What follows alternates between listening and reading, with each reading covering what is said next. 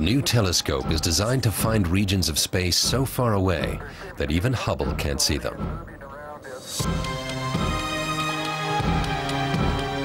Right to the edge of the visible universe where the first stars were born and where young galaxies formed.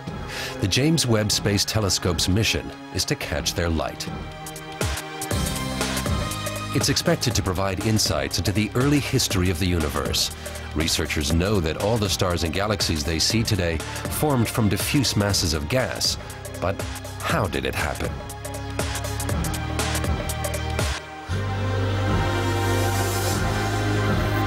To find some answers, the new James Webb Telescope must gather as much light as possible. And for that, it needs a really big mirror so big, it has to be folded up in 18 pieces to fit into the launch vehicle. Once in space, it will unfold to its full size.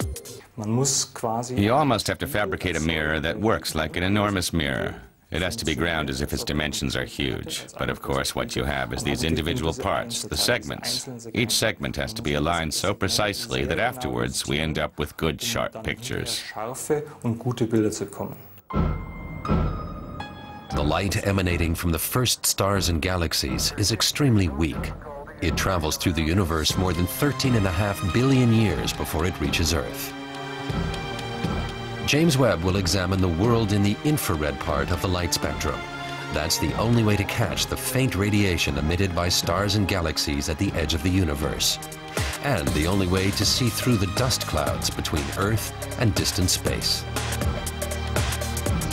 The new telescope must be kept very cold, below minus 220 degrees Celsius. The heat from the sun and earth would blind it, so a giant shield will protect its sight. In 2013, if all goes well, James Webb will start focusing on the early cosmos.